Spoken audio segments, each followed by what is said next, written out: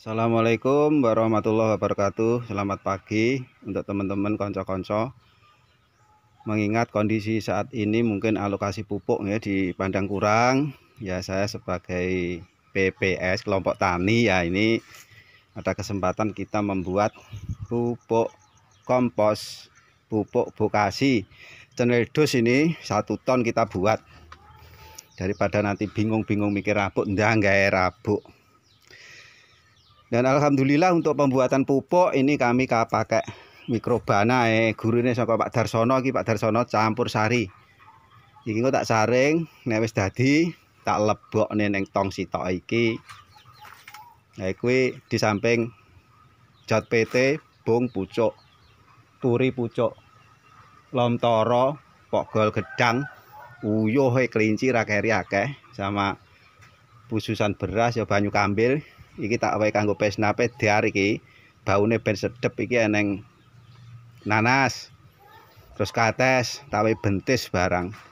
Alhamdulillah matur suwun Pak Heru terus mutan jenengan maringi drip nika kula manfaatke damel mall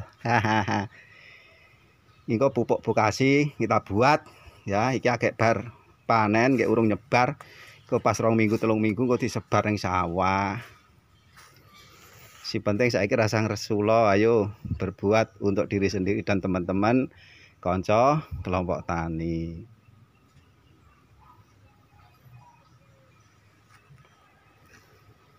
Nanti nggih dulur-dulur monggo beraktivitas. Kita ndak usah mengeluh sing penting berbuat. Ya alokasi pupuk yang mungkin kalau di kecamatan Muntaranati khususnya desa saya untuk 1400 meter persegi sak kotak nggih kurang lebih ada 75 kiloan. Saya kira nanti kalau ditambahi Bekasi sudah lebih dari cukup. Tapi untuk daerah-daerah tertentu memang kurang. Untuk itu ya kita kasih Bekasi. Nah, ini satu ton ini kita kasih pupuk kompos. Kita fermentasi, nanti semprot aplikasi resep dokter Profesor Darsono. Cakne dari kita, alhamdulillah panen kemarin yaitu di ubin dari BPP itu ubinannya 6,3 jadi itu kan ada 10 ton.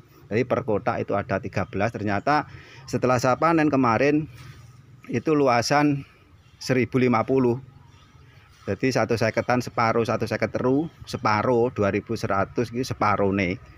Alhamdulillah kemarin saya timbang langsung dari sawah dapat 12 kental. Itu lebih dikit lah kalau hitungan 12 kental 15 kilo.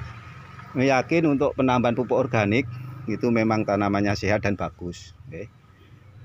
kita yakin kalau organik kurang tetap tanaman itu tumbuhnya kurang bagus kurang sehat. Untuk itu teman-teman konco-konco poktan gapoktan kelompok tani monggo kita berbuat ya nyontoni ya ngawal nyontoni ya nuladani ngomongi yo nyontoni alhamdulillah matur suwun.